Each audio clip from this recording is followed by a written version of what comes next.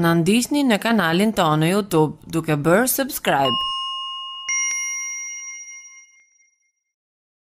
Lajmi i fundit, gruaja afgane qëllon me thikë një burrë në Shëngjin.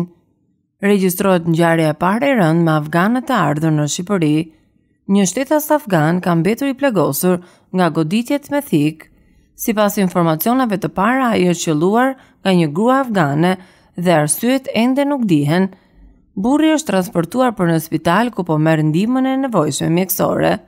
Policia ka thënë zyrtarisht se ngjarja ndodhi sot në Shëngjin, Lezhë, në ambientet ku janë akomoduar shtetasit afganë.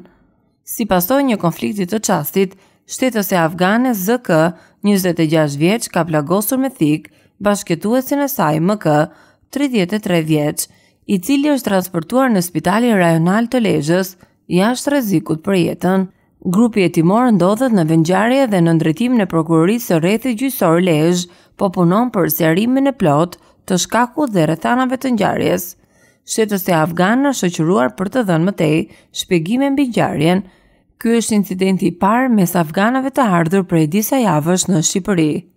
Për më shumë, klikoni në videot tona të reja.